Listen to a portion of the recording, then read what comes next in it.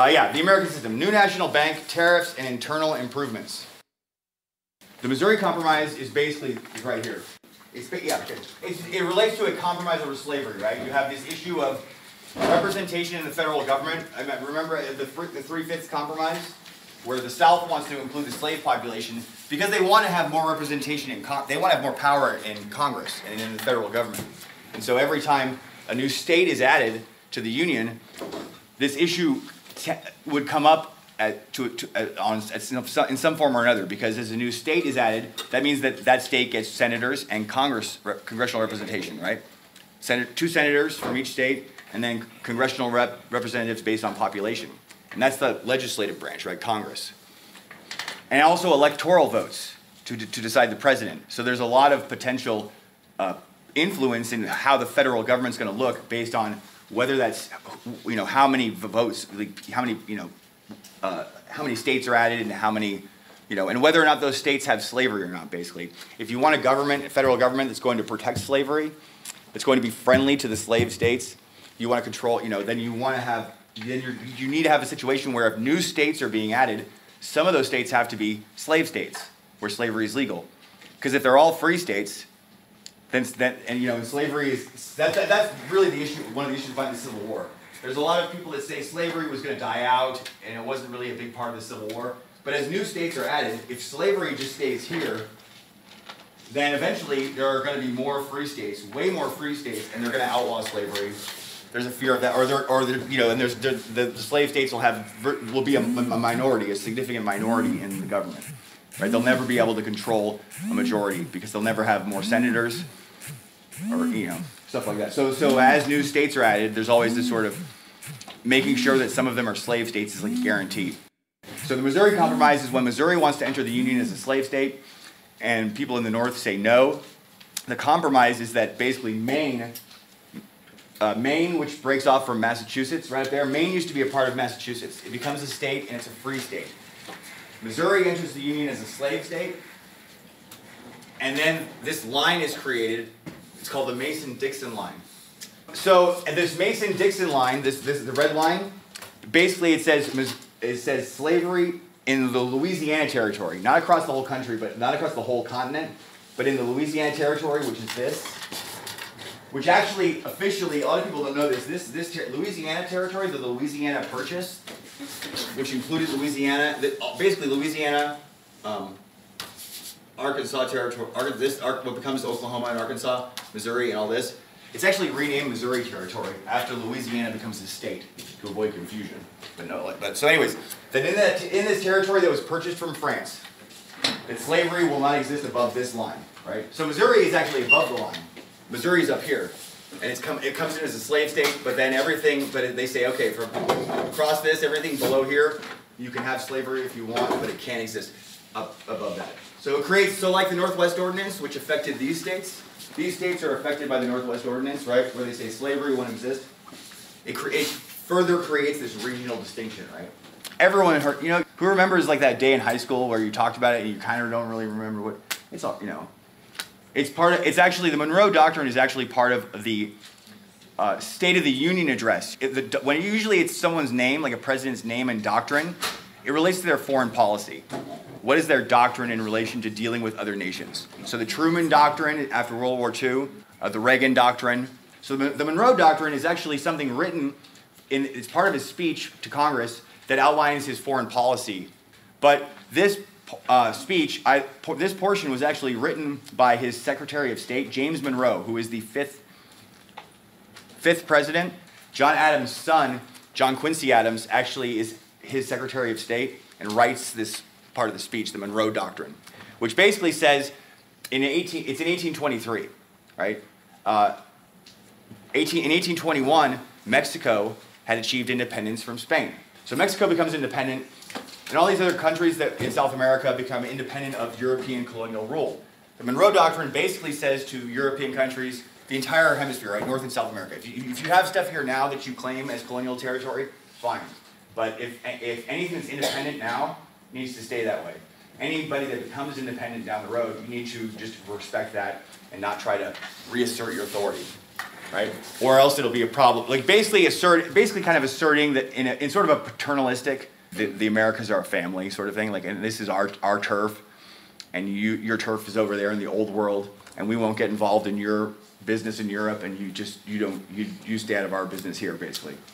And that's kind of in a situation that, that's honored by the United States, at least, for almost 100 years. It's not until World War I that the United States gets involved in any European wars.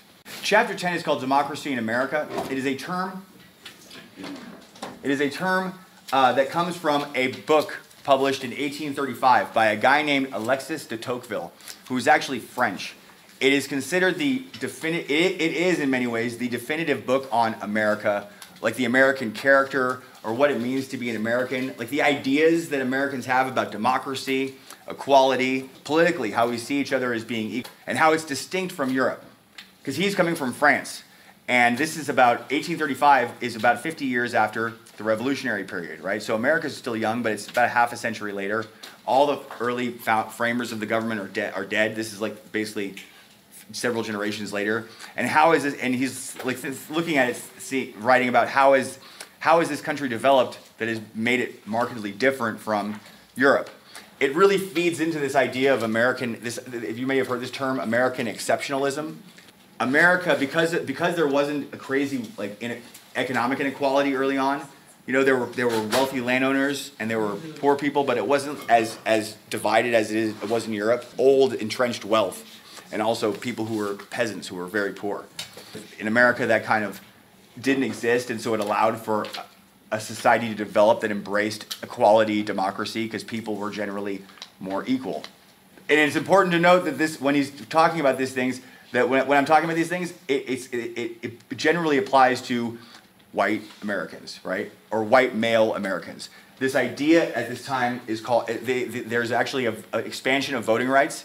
It's known as universal manhood suffrage or universal white male suffrage, where the property qualifications for voting used to have property, need property to vote. If you didn't own property, you couldn't vote. That's going to go away. And all men, all white men, like white men are given the right. It just, this seems really antiquated, right? It seems does not seem really progressive in our own time. But at the time it was, there were more people in America who could vote than in countries in Europe. Way more, like a lot more people. But it's limited to white male voters, Americans, right? And there are actually states before this where they had, if you owned property, you could vote. There were black people that owned property, some women who owned property. Not a lot, but there were there, and they could vote and they're and so those people like lose their voting rights. It's basically the property thing is removed. So hey, even if you don't, even if you're not like a property owner, everybody can vote, right? But it really it be, then it becomes apply. It be, but voting rights be, basically become attached to white being white and male. So that's an important. It's like it's like a real real important asterisk or footnote that this there's there's some genuine the idea about expanding democracy. This is when the popular vote is going to start being counted. If you look at the early elections, like Washington's election, Jefferson's election, you're not going to see, uh, if you look at an electoral map, they won't show you a popular vote count. Because they didn't, they just, they, you chose an elector, and that elector, like a delegate, went and sat with other delegates from that state, and they chose who, who they wanted to be president. It's not until 1824, if you look at the ele election results, where you're actually going to see states counting the popular vote, where the, like more people are voting, at least on you know white people, white men, and 90%, percent of the adult white male population could vote, is eligible to vote. It's significantly smaller in Europe.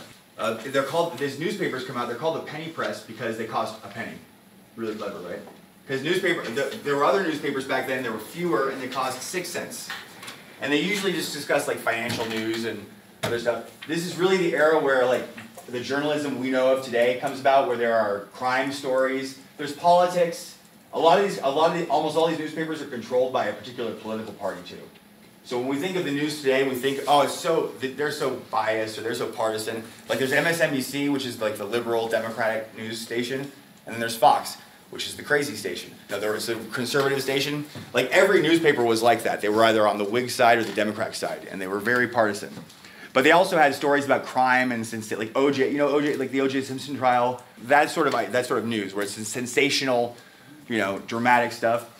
Um, that was in these newspapers. One, one, was, one big story was in 1836 in New York City, there was a prostitute who was murdered, and there was a giant trial around it. And it was this big scandal. It was like the OJ trial of the 1830s.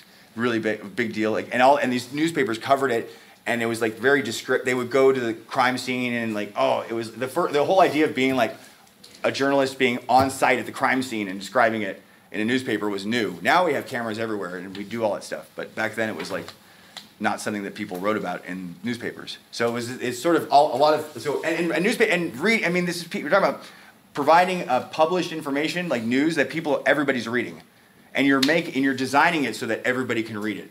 Right when literacy rates are, are much lower in other in European countries at this time, so more Americans can, are literate.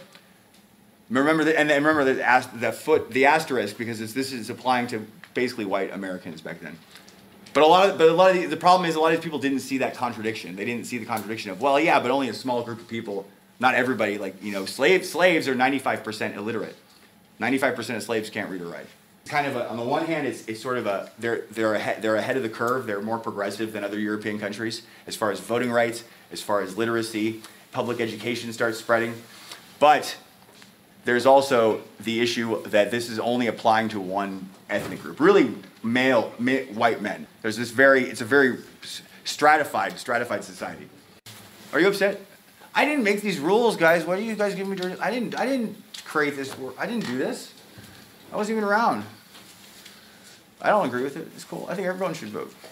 I think people in prison should vote. Some people, you know, I think people. I mean, when, when they're in prison, I think people should get to vote. Totally even if they're even if they're on death row, because I mean, like some crazy, some like Charles Manson type, he's only one guy. He only has one vote. It's not like there's 50 million Charles Mansons out there like gonna vote for Donald Duck and Donald Duck's president. So this era, this this whole time period, and one of the um, centerpieces of this era is the uh, election of President Andrew Jackson. He's on the $20 bill. You know, he's got that really cool pompadour hairstyle on the $20 bill. Andrew Jackson, when you think of the president, people think of Abraham Lincoln as the, what is he, the log log cabin president, right? The common man president, this like like populism. When George Bush was president, people said he was the kind of guy you wanted to sit down and have a beer with. Andrew Jackson is one of the first president. Is really the first president that sort of is marketed that way. Is portrayed as this. He's from the frontier. He's from Tennessee. He's from the, so he's the first president.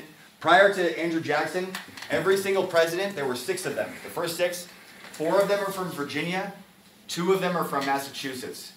And the two from Massachusetts are father and son, John Adams and John Quincy Adams. So, and they're, and they're lawyers. And then the Virginia, uh, so that you have the, so the first six presidents are from the two oldest British colonies, right? Massachusetts, Virginia. And so Andrew Jackson uh, is the first who is not from, who's from a new, new area, new state, Tennessee. So, this, so there are actually, these are the, the idea of political parties that we think of today really comes about in this era.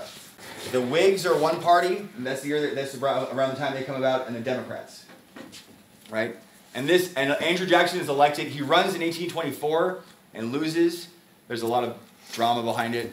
And then in 1828 he runs again and is elected, and he's president. And he, uh, the uh, so Jackson is is president uh, has as president has a very negative record, a very poor record on his relations with Indian nations. Is, this is a period that's referred to as basically Indian removal, the removal of Indians beyond of Indian nations past west of the Mississippi, right? This idea, and this is this this it's, this is not. This is prior to the term manifest destiny being used. This idea that America is going to cross this entire continent and occupy the, the, the entire, you know, this this whole stretch of land is going to be part of the United States. It's going to be this huge landmass where everyone's going to get a piece of land and blah, like blah, blah, blah. Right? This precedes that. This, that, that term hadn't come into use, but it really relates to this idea of American expansion, territories opening up for Americans, and which really, for most people, meant white Americans, a really racist um, mindset, or, you know, uh, with, with that. And the idea that indigenous people had to leave even if they, regardless of how long they lived in these places. And also, regardless of the fact that many of them, prior to this, there had been treaties signed recognizing borders, like the Washington administration, Jefferson administration, they would sign treaties, negotiate treaties with Indian nations where they figured out what the, what the territory that nation occupied. And then the idea was when people, the U.S. started, you know, more states started being added and they were migrating west, that they would respect those borders and, and, and move around them. right? And even though, but at, even even with those treaties, you had Americans who would violate the treaty and move into the move into the, the land and just not even ignore the ignore the treaty basically, and it would cause conflict. But there was an attempt, at least, there was an attempt by people to respect the rights of the original inhabitants of this of the Americas, right? These indigenous nations. Uh, Jackson basically says, no, we're, we're like not even gonna, we're not even going to follow those treaties. We're just going to remove people. And it really culminates the main uh, uh, the main event around this that related to Indian removal happens after he's left office, but his vice president is in office, Martin Van, Van Buren, because he leaves office in in, uh, in March of 1837. And then the next, the following year, the winter of 1838, 39, uh, there is what's known as the Trail of Tears. Some of you may have heard about this. The United States Army, the United States, this is a quotation from the book. The United States Army forced 18,000 Cherokee men, women, and children into stockades, right? Corralled into stockades, and then forced them to move west, like walk, primarily walking. At least one quarter died, perished during the winter of 1838 39. 18,000 people, one quarter of them. So that's about four and a half thousand, right? Four and a half, yeah, four yeah. Four and a half, that, four and a half, so 4,500 people died, right, in one winter. Move, move because they're, they're on, basically on a forced march of about, I don't know, 1,200 miles, 1,500 miles, a very long distance. So at least one quarter perished as the removal route from Georgia to the area of present-day Oklahoma. So, and, and it was in it was a winter, you know. And they're also, I mean, they're being they're basically being putting on being put on a forced march by the United States Army, and this is in a country that has a lot of that clearly has a lot of issues with uh, white supremacy and racism, right, in the mid 1800s. So the the idea, so the, it's it's probably safe to say that a lot of them were not treated very well. We're not given the, like enough food or even good stuff, or were abused, right? A lot of people, you know. It's not just people necessarily, but there were probably of those four and a half thousand people, not all of them just sort of were tired or exhausted and, and passed and fell and died. Right? A lot of them could have been beat, could have been physically abused, or raped. You know, rape people who were sexually assaulted, all sorts of stuff. People who were shot, just you know.